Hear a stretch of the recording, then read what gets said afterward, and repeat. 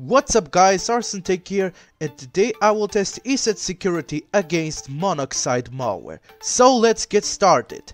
Right now ESET security's protection is on and the first round is I will trying to extract the Monoxide from the zip file while ESET's protection is on.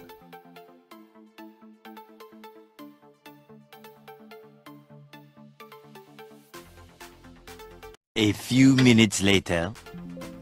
After a long time, ESET removed Monoxide, marking them as a threat. And right now, Monoxide is in quarantine. Nice job ESET antivirus.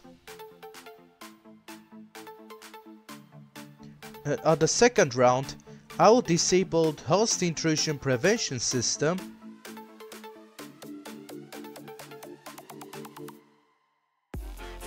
and I will restore the monoxide.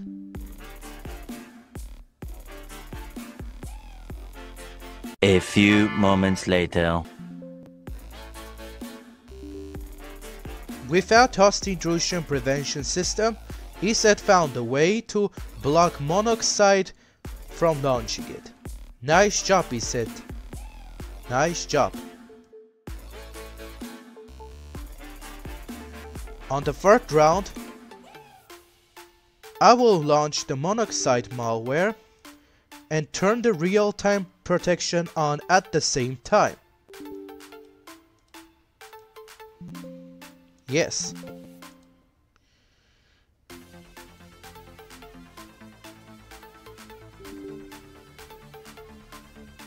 Terrible decision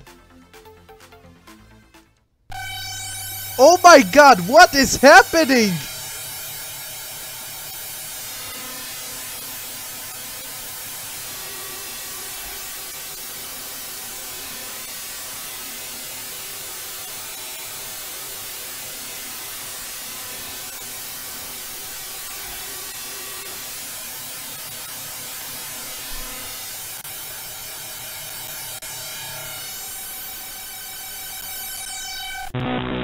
Oh my god, those sounds are terrifying!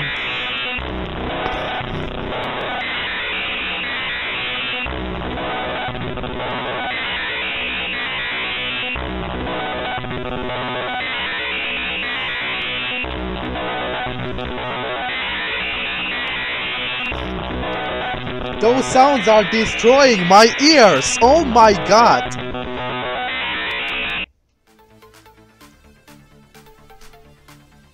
Finally, it is stopped. Finally. Thanks, ESET, for saving me. Thank you so much. Those sounds are terrifying. Okay. ESET says restart required.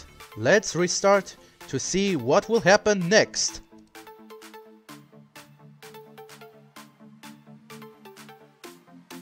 After restart, Monoxide overrode the MBR making a Monoxide a winner of the third round.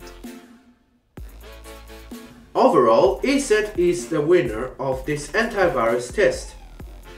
As a conclusion, ESET did a good job for handling a malware like Monoxide.